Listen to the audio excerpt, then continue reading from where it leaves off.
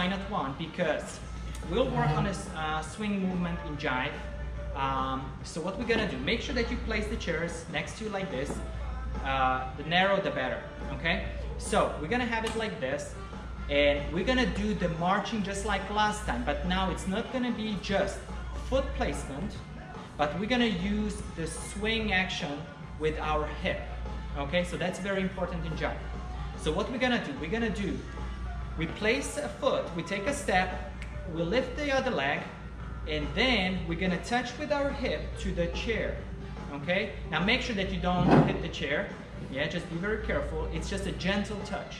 Okay, now we shift the weight, we lift the opposite leg, and again we touch with the hip. So we switch the weight, touch with the hip. One, two, three, four, five, six, seven, eight. One more time. One, two, three, four, five, six, seven, eight.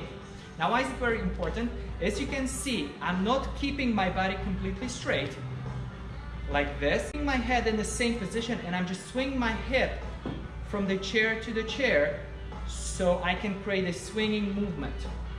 Okay? This is very important when we're gonna switch to the triple step later on. Okay? So one more time. We go one, two, three, four, five, six, seven, eight. Okay? Now I'm gonna turn around so you can see from behind as well.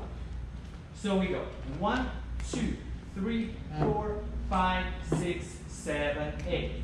What is very important that I finish my hip action when I lift my leg. You see, my hip is sideways touching the, the chair and my leg is in the air. Okay, so we go one, two, three, four, five, six, seven, eight instead of one, two, three. You see, I don't touch the chair. So this is very important to create this kind of movement. Two, three, four, five, six, seven, eight. Okay? That's going to be the same thing. So now we can put the chairs a little more apart because we are going to do the triple step, what we already know from the previous lesson. Okay? So what we're going to do, we're going to do a back rock with our right foot. And we go.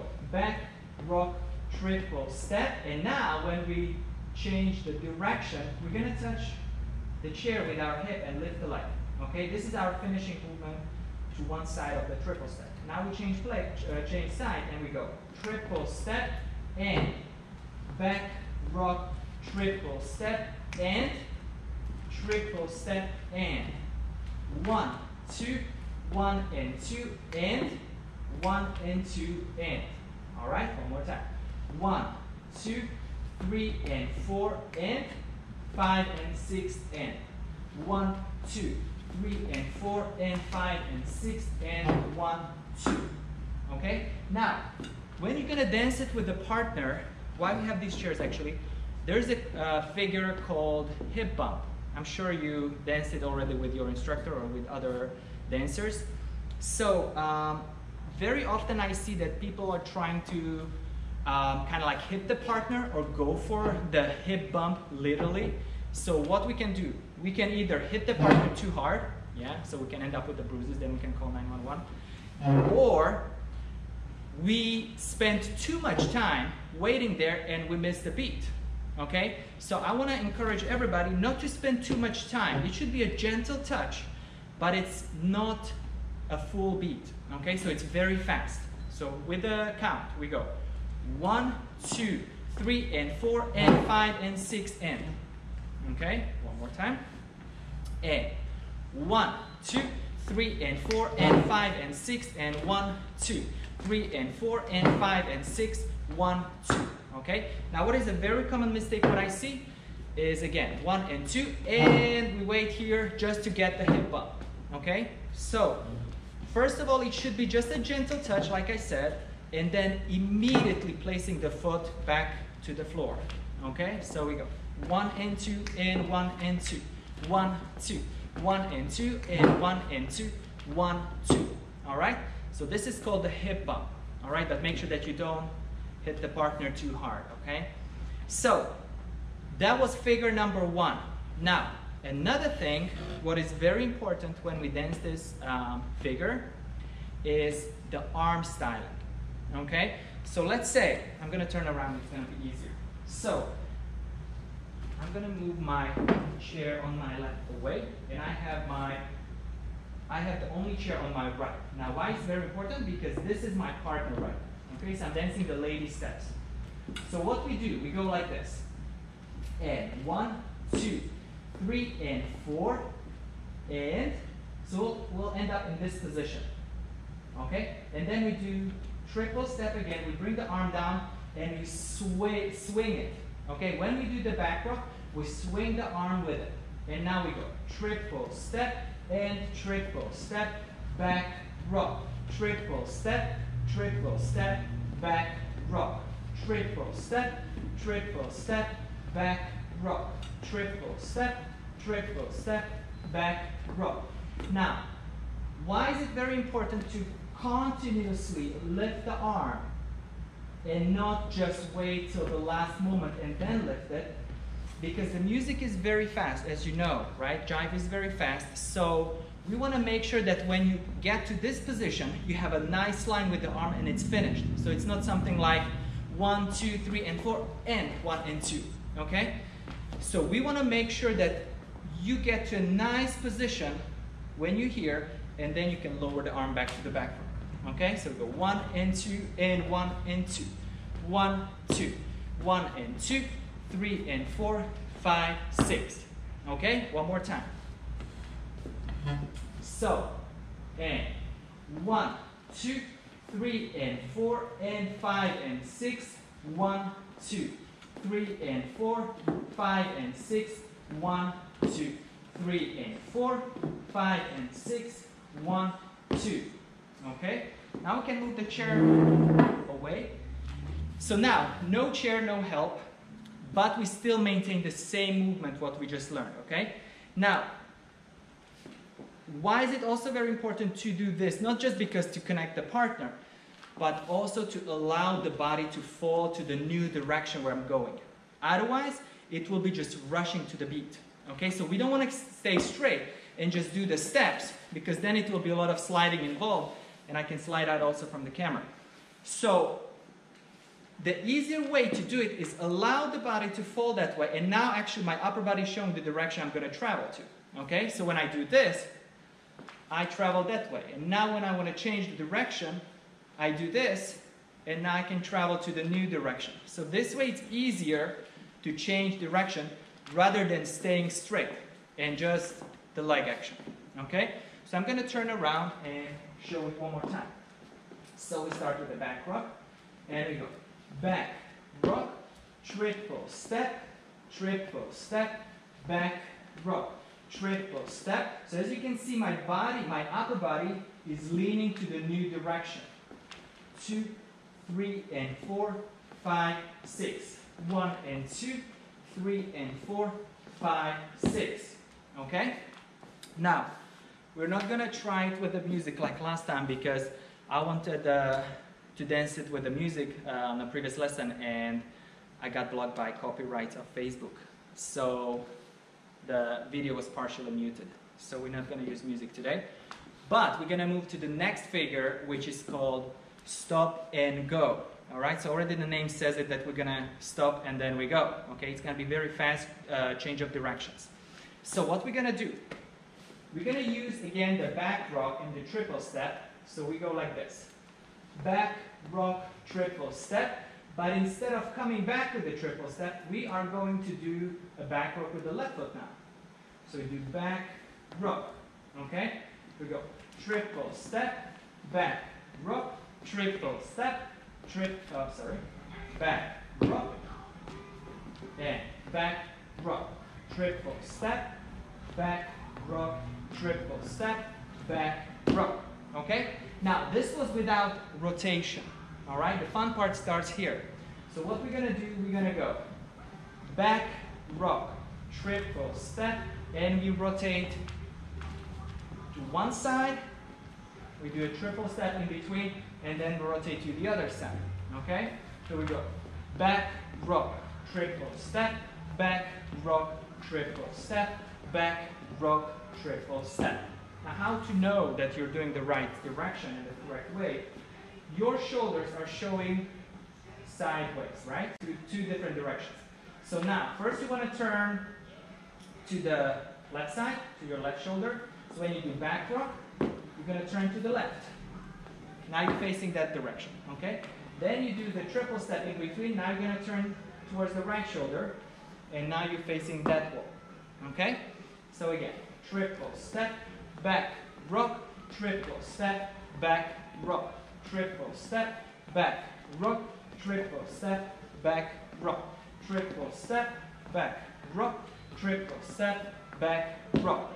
Now, even though we're doing a different figure than the previous one, make sure that in all jive figures you're using this type of action when you allow the upper body to fall to that direction, all right? So remember, never straight in jive. We don't want to do this because then it's like, especially with the fast music, it's going to be a lot of effort, okay? We want to make it easier, all right? So let's do one more time. Everybody's there? Or I'm just talking to myself right now. I don't see you because the camera is flipped. All right, let's do one more time. Let's go together. So, we go. Back, rock, triple step, back, rock, triple step, back, rock, triple step, back, rock, triple step, back, rock, triple step, back, rock, triple step. Now, we're gonna add the arm styling as well. So what we're gonna do, we go triple step, and now prepare the left arm. And what we're gonna do, we're gonna lift the left arm. All right? You wanna reach for something. All right? You go to the pantry, you open the door, then you wanna reach the highest shelf. Okay? You wanna bring, uh, take the peanut butter. Let's say. Okay? So you have the arm like this. Then you do a back rock with the left foot and replace. Now you bring the arm down, triple step, and now you extend the left arm. We don't use the right arm right now, okay? So let's put it here. Let's put it into your pocket, okay? So, just here. And now we go sideways. And again, triple step and up, replace, triple step, side, replace, triple step, up, triple step, side, triple step, up, triple step, side, triple step, up, triple step, side, triple step. Okay? Now, if you want to get a little bit more fancy, we will talk about how to use the arm. Okay?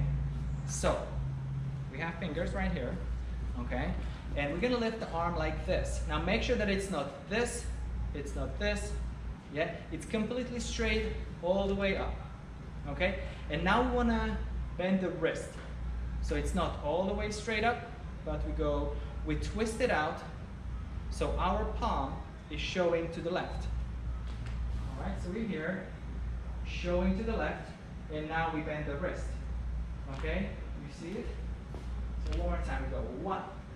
Okay, so when we do, we go one, two. This is very important so we don't end up being in, a, in this position. Okay, this way it's more graceful. So we go one, two. Okay? So let's do from the very beginning when we do the triple step, both sides. So we dancing the stop and go. Okay? Now we go one, two, three, and four, five, six.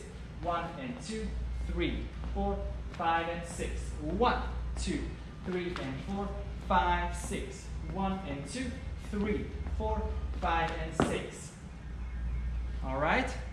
So, uh, let's review the third figure, and actually, we're gonna review it because I already taught it last time. It's called the mooch, okay? Where we had this little pointing and we had the kicking. So I really hope that you practice the kicking since the last lesson, okay? So we're gonna review it. For those who missed the previous lesson, you can learn it very quickly, okay? So we start with our right foot backward. And one, two, three, and four, five, six. Okay, so you see it's very similar to the to the stop and go. Now, instead of going back to the triple step, we go point, replace, point, replace, back, rock, triple step, back, rock. Point again, this side, point, replace, and back, rock. Okay, so one more time. triple step, back, rock, point, point, replace, back, rock, triple step, back, rock, point, point, back, rock. And now we're gonna do the same thing just with the kicks, okay? So we go triple step, back, rock, kick, kick, back, rock, triple step, back, rock, kick, kick, back, rock, triple step, back, rock, kick, kick, back, rock, triple step. Last time, and kick, kick, back, rock, triple step. Okay? So, hope you're doing good. Everybody's holding up and and everything is clear. So, let's bring the chairs back and we're gonna review everything what we've learned today, okay? But we're gonna go with a little bit faster pace. So, we are going to start with the back rock and the triple step, mainly focusing on the hip action, okay? Uh, I just wanna make it clear that this is not just for the hip bump figure, all right? It's for the entire jive. So no matter what kind of figure you're doing, if you're doing a turn, and then you do a triple step after that, always you have to finish it with this swing action with the hip, okay? So it's not straight. Okay, one more time. We start with the right foot backwards.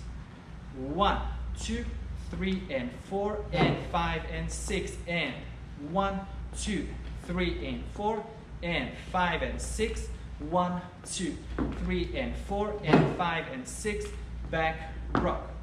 Okay, I'm gonna turn around. And like we said before, we're gonna use the arm now. Okay, so now we do uh, the real hip bump where we have a connection just with the partner on the right side. Okay, so I'm holding my partner here, and we go.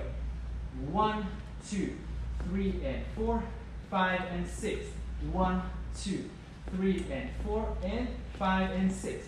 One, two, three, and four, and five, and six.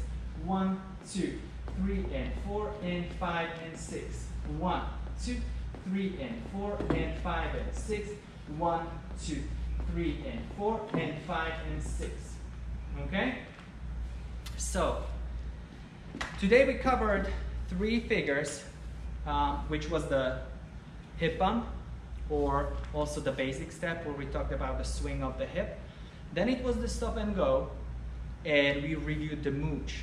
Okay, so those three figures are very important, and especially the basic step, because everything comes from the basic, okay?